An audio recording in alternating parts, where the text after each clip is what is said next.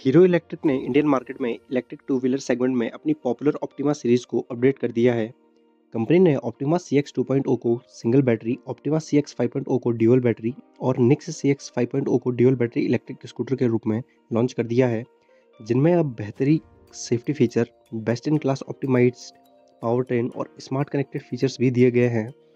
Hero electric optima series के इस updated model में 5G टेस्टेड बॉडी और जर्मन ECU टेक्नोलॉजी के साथ ही सेफ़ शॉर्टर ब्रेकिंग जैसी खूबियाँ मिलती है। बाद बाकी इसमें दो किलो की बैटरी लगी है, जिसे फुल चार्ज होने में साढ़े चार घंटे का समय लगता है। इस इलेक्ट्रिक स्कूटर को एक बार फुल चार्ज करके आप नब्बे किलोमीटर तक की दूरी तय कर सकते हैं। तिरानवे किलोग्राम वजनी इस इलेक्ट्रिक स्कूटर की टॉप स्पीड 48 किलोमीटर प्रति घंटे की है। वहीं इसमें एक सौ mm का ग्राउंड क्लियरेंस दिया गया है।